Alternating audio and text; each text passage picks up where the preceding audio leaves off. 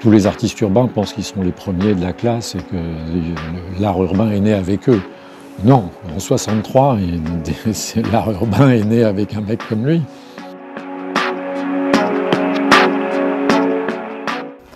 Gérard Zloty-Camien est né à Paris en 1940. Il naît juif et en 1942, toute sa famille est déportée. Il reste à Paris. Il est placé dans une famille, une famille qui le maltraite, ses parents Berthe et Albert sont les seuls survivants, personne d'autre de la famille n'est revenu d'Auschwitz et ils se retrouveront tous les trois à la libération. Finalement, Zloty échappe à la déportation pour être maltraité. Un parcours terrible qui l'inspirera évidemment énormément. Toute son œuvre est consacrée à, ce parcours très très difficile et un parcours dont il a beaucoup de mal à parler. Je me souviens de lui avoir demandé si aujourd'hui encore c'était le petit Zloty qui crachait sa colère sur les murs des villes et sa réponse avait été euh, de faire ce geste et ça voulait tout dire. Eh ben, le travail d'un peintre, c'est précisément de ne pas parler. J'écris de la peinture. J'écris, c'est-à-dire que euh, je fais sur des dessins sur des toiles ou, sur des murs ce que je ne peux pas dire avec des mots. Gérard Zloty-Camien a une enfance euh, qu'on pourrait dire euh, chaotique, profondément déprimée. Il raconte qu'il ne dessine que des vanités, des crânes. il est particulièrement frappé par la visite d'un ossuaire. Et donc il est comme euh, hanté par euh, la mémoire des camps, la mémoire de ce que sa famille a vécu, et euh, mémoire qui est pourtant sans mots, puisqu'apparemment on ne parle pas trop de ces choses-là dans sa famille. La seule éclaircie qu'il connaît dans son enfance, c'est finalement le dessin. ce sont aussi les visites d'expositions d'art qu'il fait tout seul dès l'adolescence. Et puis c'est aussi la découverte précoce du judo.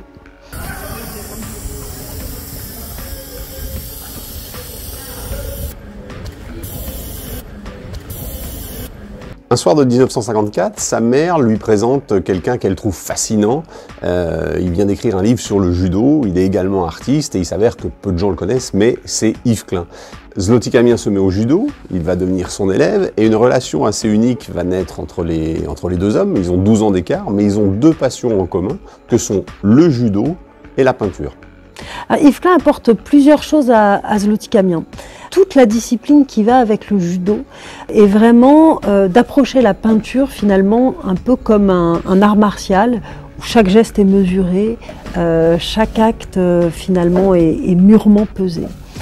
La chose la plus importante qu'il m'a donnée, c'est une rigueur dans la forme, dans le geste, dans le, dans le vide, dans les choses principales, et que le geste, quand il est parfait, il devient beau. Mais je pense qu'il lui a appris, euh, euh, j'appellerais ça une, rectitude. Hein. Faire front, ne jamais plier, on a la puissance de, rester debout quoi qu'il arrive. On reste bien droit. Voilà. Klein, c'est très particulier, ça fait partie de, ça fait partie de mon existence.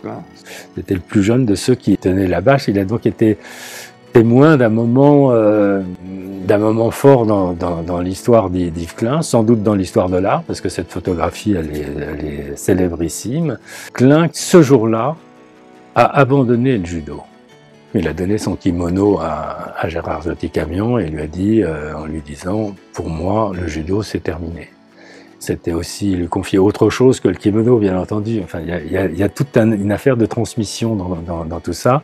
On se passe des messages euh, mystérieux entre peintres.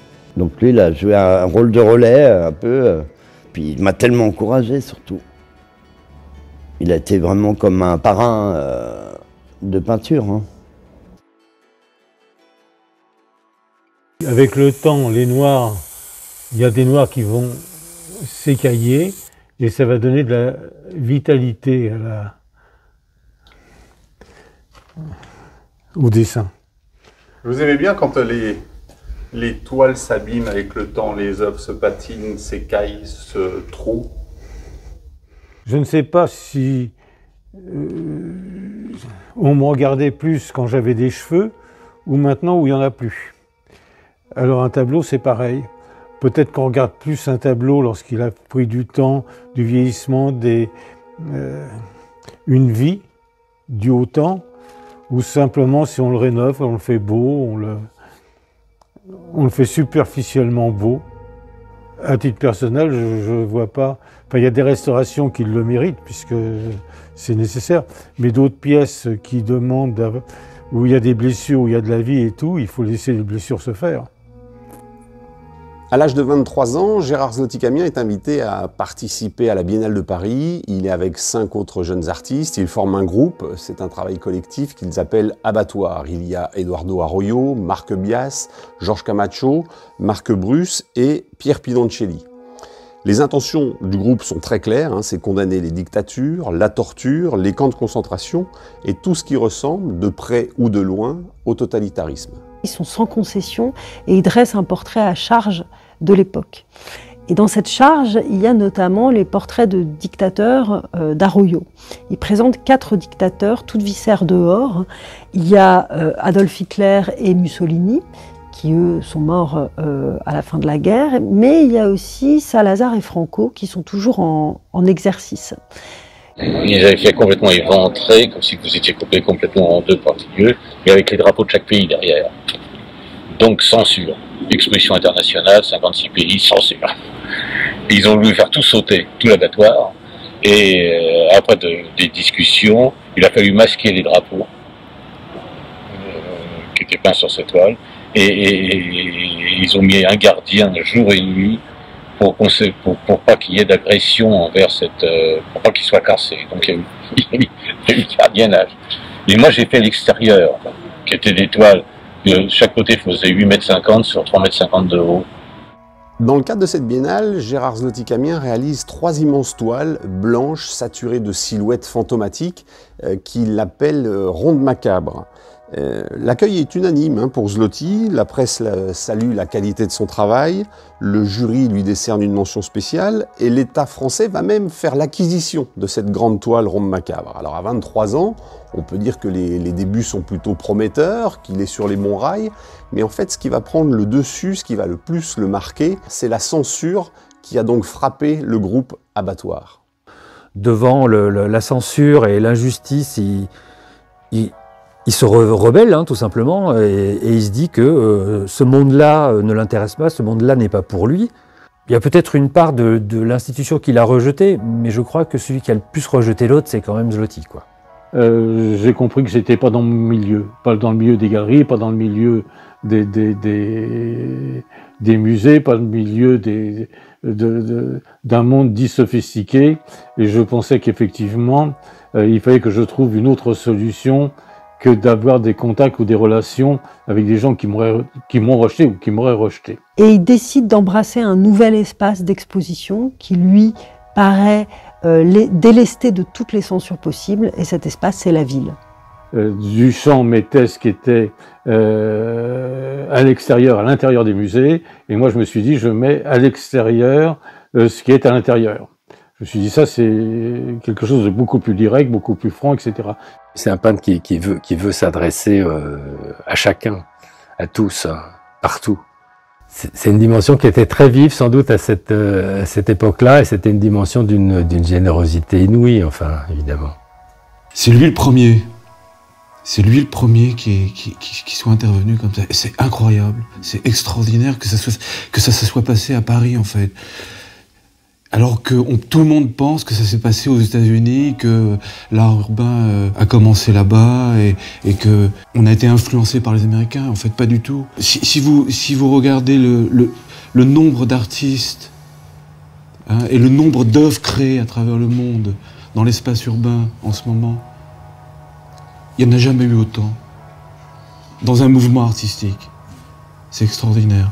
Et l'initiateur de tout ça, c'est Zloty. C'est incroyable. Vous pouvez être le premier dans un truc qui est le roi des cons. Ça dire et faire que des merdes. Alors vous êtes le premier à faire des merdes, ça peut être possible. Je euh, je serais pas fier. Mais je le sais pas. ça c'est un gros avantage.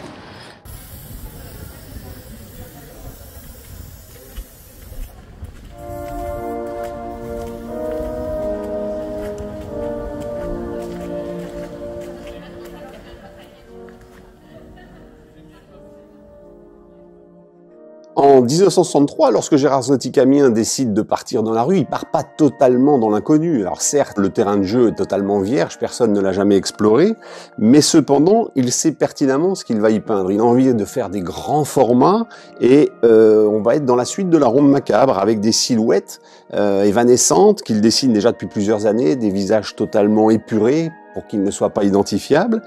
À l'époque, il les nomme personnages disparus, et ce n'est qu'à partir de 1970 qu'il va leur donner le nom qu'on connaît aujourd'hui, qui est le nom d'éphémère.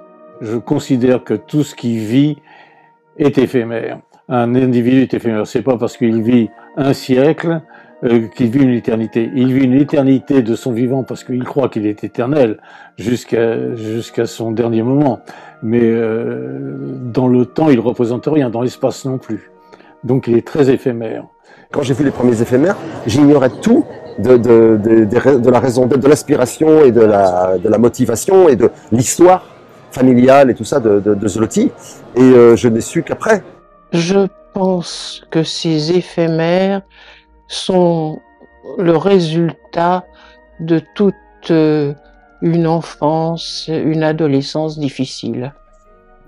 Et ça, ça ressort comme ça évidemment, on est tenté de projeter sur les éphémères euh, toute l'histoire de Gérard Zloty-Camien et puis plus largement toute l'histoire terrible et très destructrice du XXe siècle. Tous les gens qui, qui, ont disparu dans les camps, qui ont disparu à Hiroshima, qui ont été balayés, emportés par les guerres, mais aussi par la maladie, mais aussi par, euh, bah, par la mort qui nous attend tous en fait. Ce sont des personnes, et comme toute personne, elles sont éphémères il y en a qui le sont plus que d'autres, et ce sont des, ce sont aussi, ce sont aussi des revenants. C'est aussi, c'est aussi tout, tout, tout, un peuple qui nous hante. Hein, voilà. Et quand on, quand on les regarde euh, avec cette idée-là, je pense qu'on comprend tout de suite. Mon travail est minimaliste, c'est-à-dire que euh, je crée des éphémères, quelque chose de très simple, de très dépouillé. Il n'y a pas besoin de faire un tas de choses tout autour. La simplicité est quelque chose de très important. D'abord, c'est une obsession, c'est son histoire, euh, c'est tout, et c'est son œuvre. Il fait son, ce qu'il appelle son travail, quoi. C'est un travail de mémoire, en fait. Il y a une sorte de, de rage, une envie de, de rétablir quelque chose, de réparer quelque chose, de retricoter euh, quelque chose pour, euh, pour que le monde soit un peu meilleur, quoi. ce qui n'est pas, ce qui est pas gagné. Quoi à chaque fois qu'il y a une catastrophe dans le monde ou quelque chose, il, euh, le vit, il le vit très mal, il le vit intensément et, il supporte mal qu'on détruise des gens pour rien, pour et ça il a beaucoup de difficultés. Ce qui est intéressant, c'est de savoir pourquoi il le fait, quoi. Pourquoi il fait ça? Ça veut dire quoi ce qu'il fait? Parce qu'ils sont prend ça comme des graffitis, comme ça, des petits bonhommes, ça veut pas dire grand chose il faut avoir quand même une clé pour, euh, pour, voir, pour savoir ce que fait Gérard. Qu'est-ce qu'on veut me dire? Quel est le message? Qu'est-ce que ça représente? Et finalement, avec les objectifs, il faut un peu creuser pour vraiment capter toute l'intensité. Donc pour moi, c'est un beau message de sa part pour ceux qui vont jusqu'au bout de la recherche. Ceux qui ne comprennent pas, c'est une belle question. Et quand on se pose la question, on est enrichi. Et ça, c'est magnifique. Il y a des gens qui pourraient être surpris qu'on soit ému par la tête à Toto. Euh, si, voilà. Et pourtant, c'est tout sauf la tête à Toto.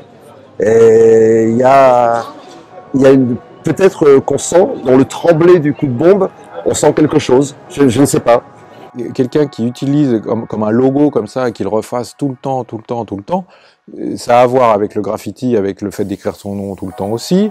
Ça a à voir euh, avec ce qu'on fait aujourd'hui avec l'art contemporain, le fait d'utiliser la rue pour raconter une histoire et pour parler à tout le monde. le fait de démocratiser l'art aussi. Donc il, avait tout inventé.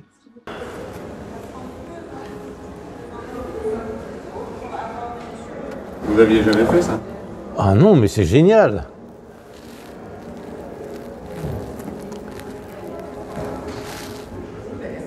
Et je, je, vais vous dire,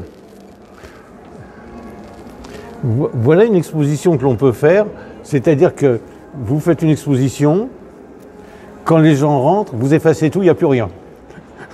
Juste un cocktail. Non mais c'est génial. Au départ, moi, je pensais que Zloty, c'était euh, un personnage de, de film, c'était Monsieur Hulot, tu vois, c'était... euh, Mais en fait, en, approfondissant, je me suis rendu compte que c'était un vrai punk à l'époque où le punk n'a pas encore été inventé en plus. Et il y a vraiment ce côté euh, refus du système, alors du système commercial, hein, du système tout court, et puis il va aller jusqu'au bout euh, de- de- de- du concept de, de destruction et de vide, en, destru- en détruisant lui-même ses œuvres. euh, Il a brûlé, il a détruit, il a, il a effacé. Il a, il a peint dans des endroits qu'il savait euh, voués à la destruction. Parce qu'il a, il a cramé des toiles, euh, mis dans des bocaux de cendres. Alors en plus de ça, les cendres, dans un destin de juif euh, né en 1940, euh, c'est un signe vraiment. euh, voilà, il n'y a plus qu'à fermer sa gueule, quoi.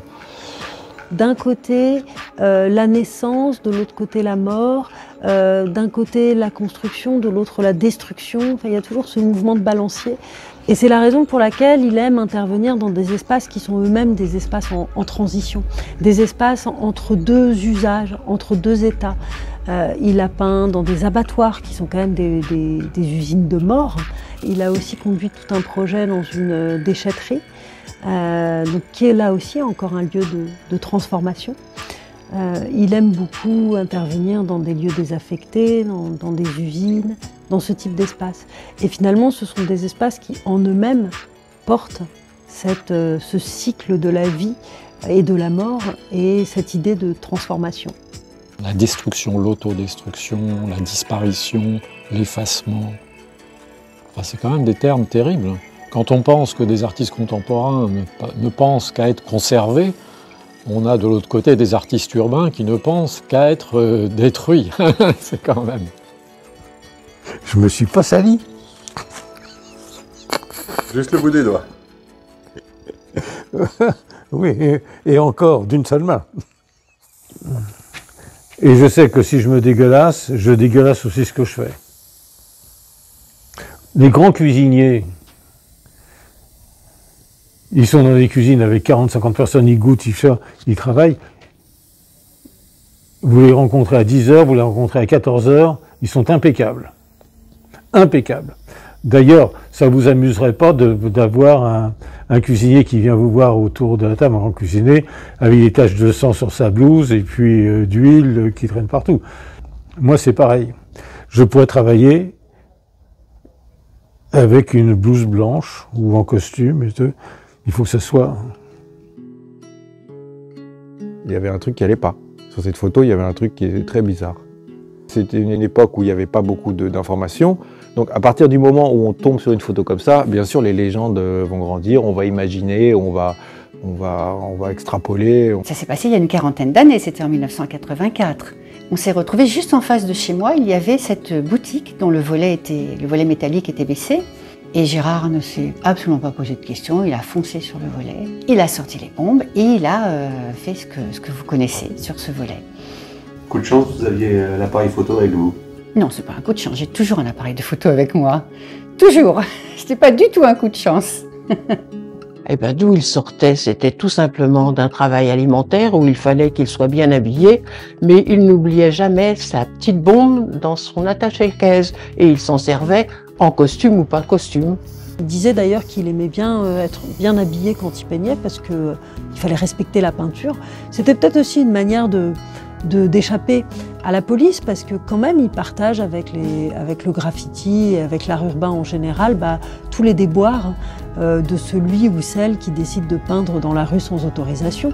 Donc il a eu des arrestations, il a eu plusieurs procès, euh, il a été condamné. Vous savez, quand vous êtes euh, jeune marié, que votre époux prend son petit bagage et puis sa petite bombe et s'en va à 2 heures du matin et revient à 3 ou 4 heures, c'est pas forcément agréable. Mais on s'y fait.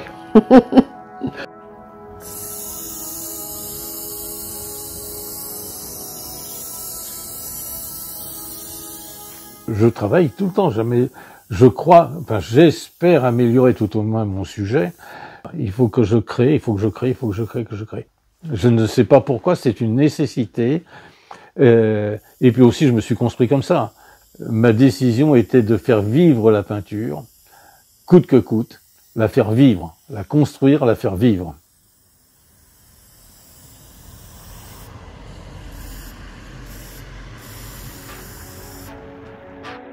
J'ai eu la chance euh, d'assister Zloty sur euh, ben, ces deux fresques. Finalement, l'environnement pour ces fresques est important.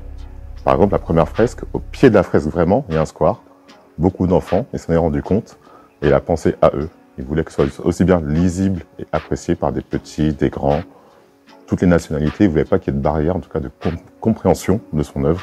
Et donc, c'est, je ne vais pas dire combien de croquis, combien de, sur combien de fois il a préparé cette fresque, mais c'est un long travail pour prendre en compte l'environnement réellement. Quand on regarde ces vieilles photos, euh, il ne va pas cadrer euh, juste euh, ces personnages, c'est éphémère, euh, il va cadrer ce qu'il y a autour, il va montrer ce qu'il y a autour. Ce que nous, on ne faisait pas euh, dans le graffiti. C'est la première personne qui a euh, utilisé la rue pour faire de, on va dire, l'art contemporain, en utilisant le contexte, le décor, qui, qui est aussi important que ce qui va dessiner dessus.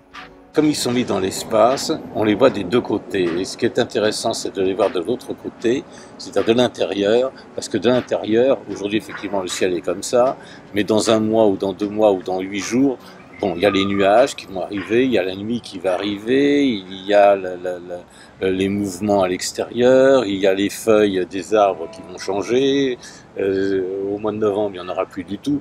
Donc aussi, les choses changent. Et puis quand les gens euh, vont marcher dans, dans, cette galerie-là, ils vont avoir l'impression aussi que les personnages bougent. Vous êtes dans le, train, dans une gare, il y a un train qui démarre, vous êtes assis, vous avez l'impression que c'est vous qui, qui, qui. Et là, ça va être pareil. Ils vont avoir l'impression que. C'est un côté mystique, ces apparitions sur les murs cassés. C'est ça qui me bouleversait. hein. Puis c'était la nuit qu'on y allait. hein. C'était impressionnant. On laissait la voiture loin, puis on marchait dans les gravailles, on arrivait dans les maisons cassées. Tout d'un coup, je revoyais la vie dans ces maisons. Voilà. Les maisons étaient réhabitées. C'était, moi, ça me parlait hein, beaucoup. Je trouvais ça beau, ce travail. Ça l'est toujours d'ailleurs.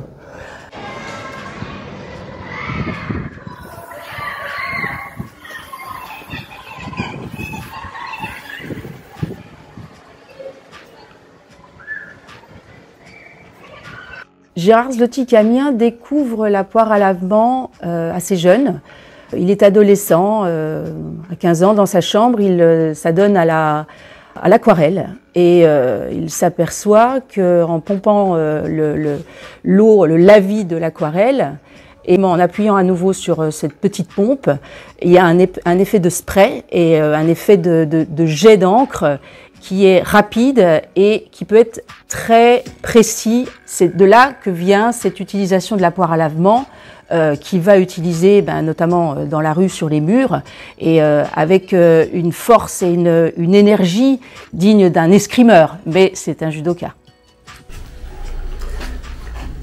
Il y en a pour les bébés, pour les oreilles.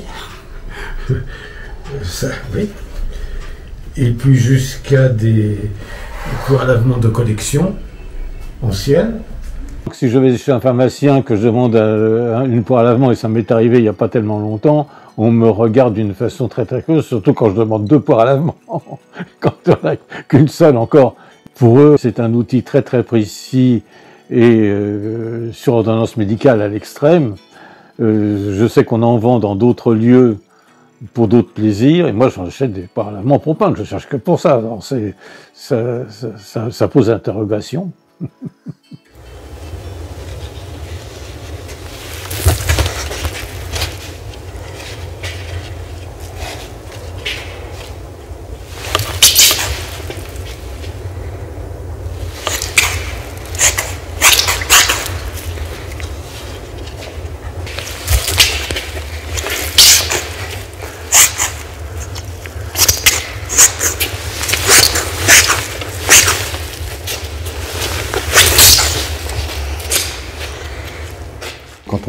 À lavement, il faut vraiment la presser et, la mettre sur le mur, que ça gile, etc.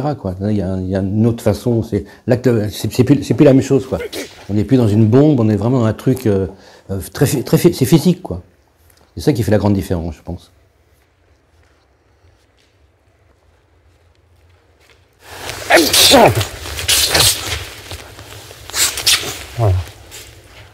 C'est comme un pinceau, c'est comme euh, C'est la continuité de ma main. Voilà. Il y a suffisamment de réserve dedans au niveau de peinture pour que je puisse faire euh, un ensemble de travail assez conséquent en, un seul geste. Et avec une violence, si je désire la violence, si je désire que ce soit plus précis, euh, je fais ce que... Enfin, c'est mon outil.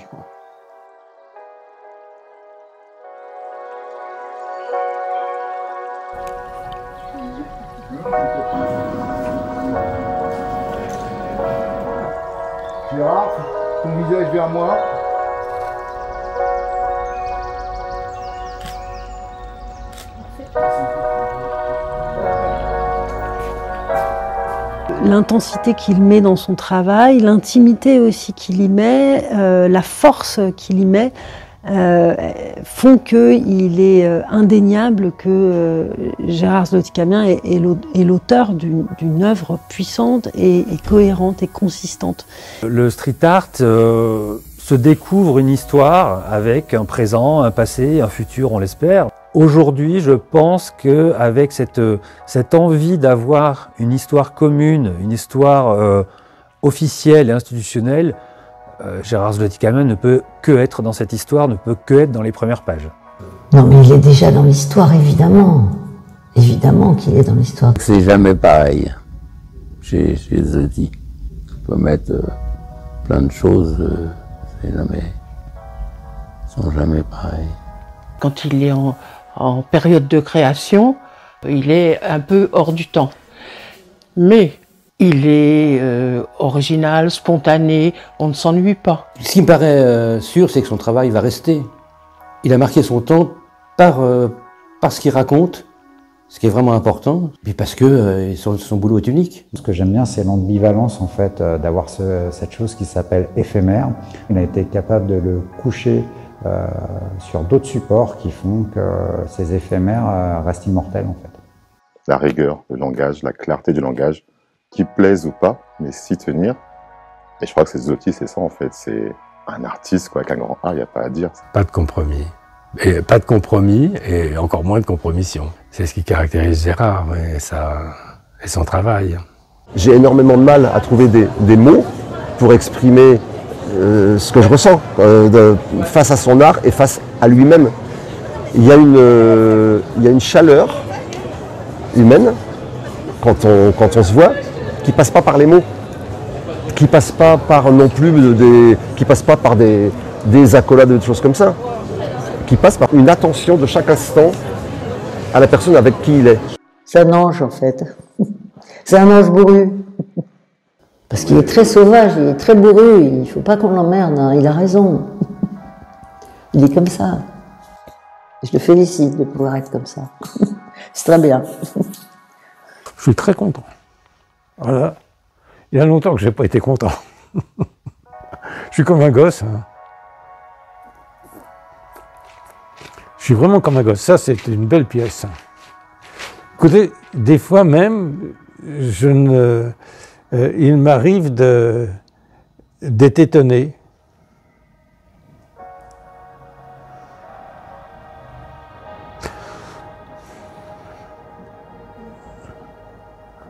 J'arrête.